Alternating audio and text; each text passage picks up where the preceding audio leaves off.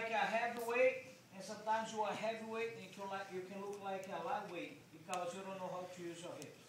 Okay, so I can say like jiu-jitsu eighty percent is hips. So I'm here. Okay, one more time. If my hips is here, he's gonna put it, put his guard back for sure. Okay, It'll be I can be fighting here, or he's gonna put his his guard back. So now, guys, look, hips low. Okay, I have two. You got the mount, you got the belly, side control, you got the arm. Okay, You can go to north south, You can walk. So that's the next drill. Okay, stay here, hips low, switch. You can get the mount.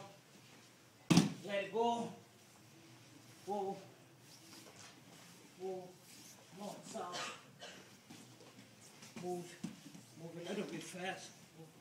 Okay, let's go.